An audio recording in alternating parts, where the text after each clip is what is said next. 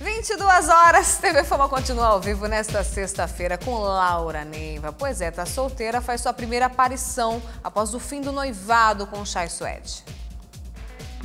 Para nossa surpresa, quem apareceu bem tarde à festa do Instituto de Neymar, aqui em São Paulo, foi Laura Neiva.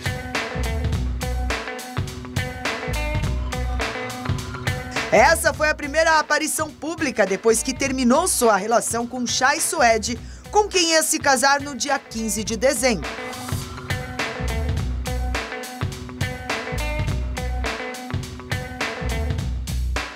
Chay e Laura Neiva ficaram juntos durante quatro anos e já moravam juntos também. Nesse mesmo dia saiu uma nota de que Chay Suede estaria vivendo um affair com a sua colega de trabalho, Camila Lucila, fato que foi negado pelo ator.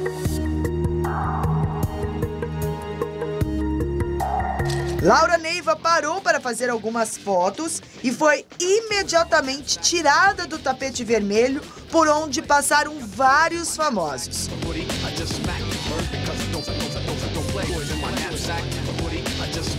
Laura Neiva passou bem na nossa frente rapidinho, conduzida por uma pessoa da produção do evento. Ela cumprimentou uma amiga e de lá foi levada para dentro do salão. Drum, make you wanna get some.